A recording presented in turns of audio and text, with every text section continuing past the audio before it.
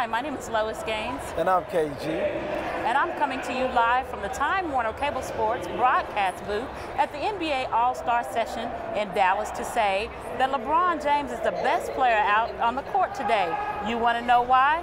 KG will tell you why. Man, there's no way I would wear anybody else's jersey but LeBron James.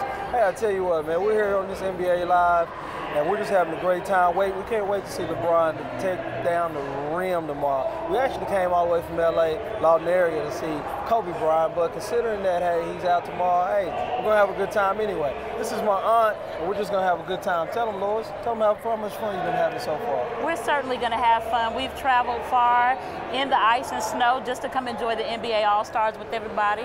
So we're just looking for a great time. We were able to see Dwight Howard earlier today. We were able to see Tim Duncan at the mall. And so we're just here enjoying ourselves in Dallas, Texas with Time Warner. All right, hey, and thanks again for Time Warner. All right.